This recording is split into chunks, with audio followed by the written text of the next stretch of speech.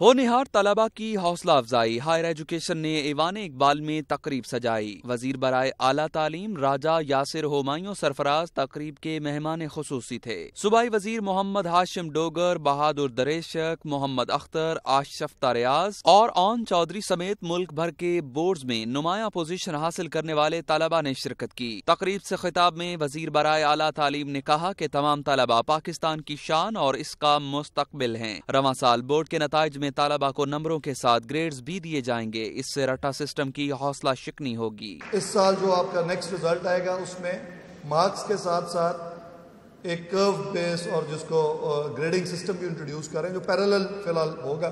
اور پھر آنے والے سالوں میں انشاءاللہ اسی پہ لے جائیں گے، تاکہ لوگ جو ہیں وہ اس اس اس مارکس کی دوڑ سے نکلے اور علم حاصل کرنے پہ زیادہ توجہ دے سکیں۔ پوزیشن ہولڈرز میں سے اکثر کا تعلق پنجاب گروپ آف کالجز سے تھا۔ اپنی کامیابی میں انہوں نے اساتذہ اور اپنے ادارے کو اہم قرار دیا۔ پنجاب کو اس کا بہت بڑا کردار ہے کیونکہ اس نے مجھے ایک پلیٹ فارم دیا تاکہ میں محنت کر سکوں اور جو ٹیچرز نے بہت ہمیشہ ہیلپ کی ہے بہت کوآپریٹو ٹیچرز ہیں۔ اساتذہ کی بہت زیادہ محنت کا خلوص بہت زیادہ شامل ہے کہ انہوں نے ہر معاملے میں ہمارا ساتھ دیا ہے۔ حکومت پنجاب کی جانب سے سندھ بلوچستان آزاد کشمیر گلگت بلتستان کے پی اور پنجاب کے طلبہ میں تیرہ کروڑ چالیس لاکھ روپے سے زائد کے کیش انعامات تقسیم کیے گئے۔ آتف پرویز، لاہور نیوز۔